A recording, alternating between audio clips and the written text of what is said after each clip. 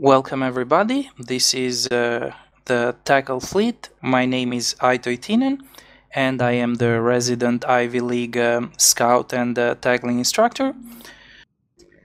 Now that we have uh, dealt with navigation commands and we know how to more or less manually move our own ship, we are going to talk about damage application mechanics because as a tackle ship our main aim is to mitigate incoming damage. Speed is the best way to do that. So let's talk about uh, missiles and rockets. Missiles and rockets are a very simple weapon system as they only apply damage while you are inside their range. Since we all have our uh, own tactical uh, overlay enabled, we are going to be seeing the range of our offensive uh, systems. So in your ship, you can uh, hover with your uh, mouse pointer over one of your offensive modules. You are going to be able to see the bold and thick red line, which is going to be the optimal range of that offensive module. And if you zoom out a bit, you are going to be uh, seeing a faded red line, which is going to be the limit of your um, fall off for that offensive module. If you zoom out a bit more, you are also going to be seeing a red dashed line. The red dashed line is the limit of targeting range. So any ship that is within your targeting range, you can simply lock and uh, you will be able to start shooting it. As we said above, uh, missiles and rockets are going to be applying damage for as long as you are within their uh, range because they only have optimal range. Missile damage application depends on your absolute velocity, so not on your direction. And if you want to tackle a missile boat, you can uh, beeline, you can simply approach them. And uh, the faster you go in absolute terms, the less damage you are going to be taking from missiles. Gunnery based weapon systems like projectiles, uh, hybrid, energy turrets, entropic disintegrators, and uh, Vorton projectors are different because they are based on tracking. Some of them also have a very long fall-off range where they uh, apply considerably less damage, but it is possible to also completely avoid damage even while being inside their optimal range.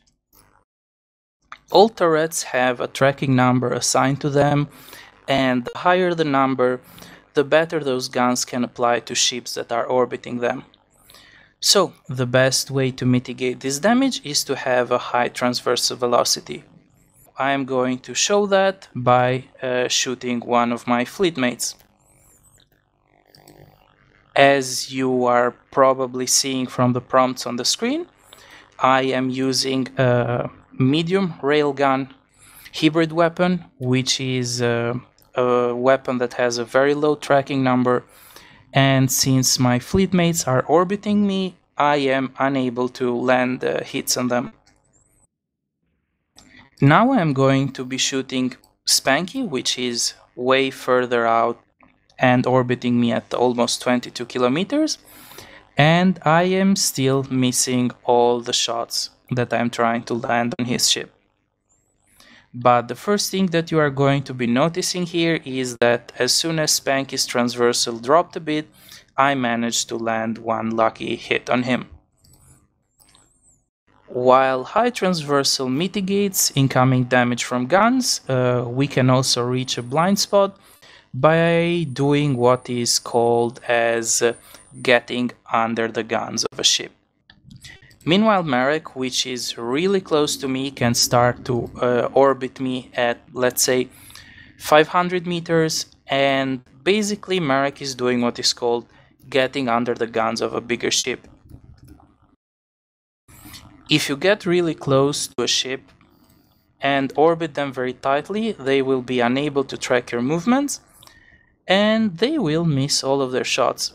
So, to recap, to avoid damage from uh, gunships, uh, maintain the highest transversal velocity possible, and or get under that guns. The maneuver that combines both, both of these things is called spiraling and it will be discussed again later. We spoke about missiles and we spoke about uh, turrets and the third most common weapon system in uh, EVE are drones. A drone behaves like an AI piloted ship. They have their own MWD and their own weapon systems based on gunnery, so all the tricks we tried against guns will work still fine. The difference is that while mounting smaller guns on a big ship is highly discouraged, having different drone flights of different sizes in bigger ships is uh, the norm. This makes light and some medium drones really dangerous for light tackle ships.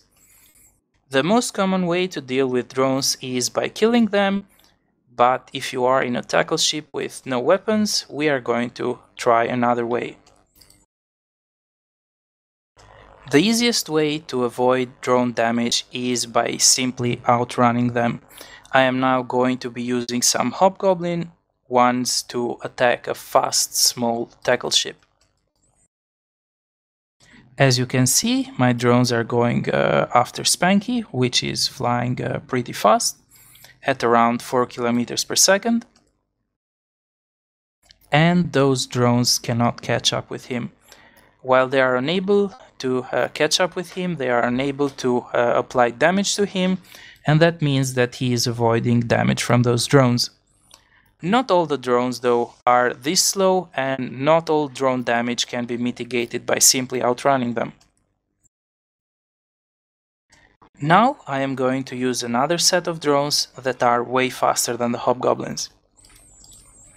As you can see, Warrior 2s are a faster kind of drone, and they are going after Marek, and they are immediately applying damage to him. If you are unable to fully outrun drones, there is another way to make them slower than you, and that way is by turning off their MWD by using your warp scrambler and shutting the MWD of the drone off or you can web the other drone and make it lose velocity after a bit. Both of these ways uh, are going to make uh, hostile drones way slower than you and they are going to allow you to mitigate a lot of the damage that is coming from them. As you can see in here, both of those drones are getting one of them scrammed and the other one is getting webbed so they are unable to land more damage on Marek. Another good thing that you can do while you are sure that another fleet mate has established a secondary point is to simply align out and have the hostile drones follow you. This way you are going to be able to pull the enemy drones away from the fleet and mitigate the damage that they are going to be applying to your own fleet mates. So, as we saw here, the scram and the web were enough to mitigate the damage coming from two drones, and some of the most powerful drone boats, like the ones from the Gurista line, only use two drones because they are bonus for that. So uh, the scram and the web are a very powerful tool to mitigate damage to yourself and to your fleet. We learned that the best way to tackle a missile boat was to approach them at maximum velocity, since transversal wouldn't matter. Uh, this doesn't work for gunboats, and that's why you need a different maneuver to tackle them. That maneuver is called spiraling. We know our transversal is maximized if we move at a 90 degree angle with a faded line that connects us to the target, but we still need to get closer to tackle them. At the core, spiraling means maximizing both your transversal and the speed at which we approach our target. This is done by burning for our target with a 45 degree angle with a faded white line, using the tactical overlay as a reference for our angle of approach. We are going to demonstrate a more practical way to do this. If you have locked your target, it's going to be in the middle of a crosshair where a horizontal and vertical thin line cross each other.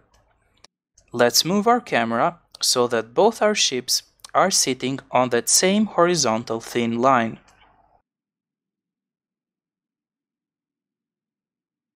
Now let's maximize our transversal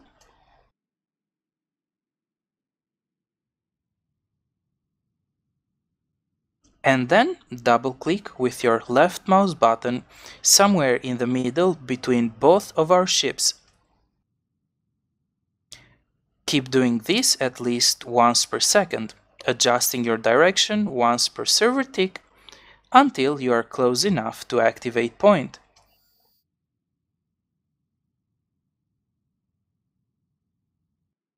Depending on the distance, you might want to alternate overheat on your prop mod by shift clicking it, letting it run for a cycle, and then shift clicking it again.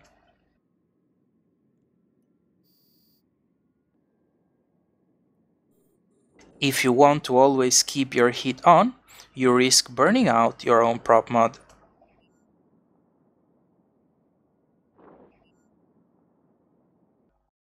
In these videos, we explained how to customize the overview to show the useful information we need as light tackle pilots, how propulsion jamming modules work, and how to mitigate damage from most of the weapon systems in EVE. More detailed explanations of specific mechanics can be found on the EUNI wiki. We are also going to link other useful videos on more advanced light tackle roles and broader manual piloting topics. Many thanks to my collaborators, Marek, Russ, and Spanky, who helped transform a simple tackle class into an amazing video lesson. Until next time, fly fun!